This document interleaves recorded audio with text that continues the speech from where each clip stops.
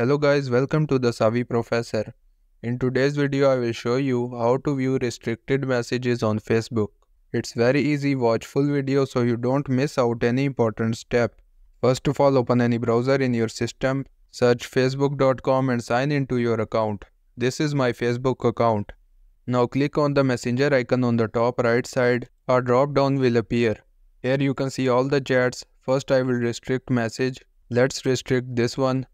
To restrict, open the chat, click on the name. Here you can see different options. So scroll down and click on restrict. You can see the message restricted and disappeared from the messenger. To view that restricted message, click here, see all in messenger. Now click on these three dots. A drop down will appear. Here you can see restricted accounts. So click on it. Here you can view your restricted accounts. This is the account which I just restricted.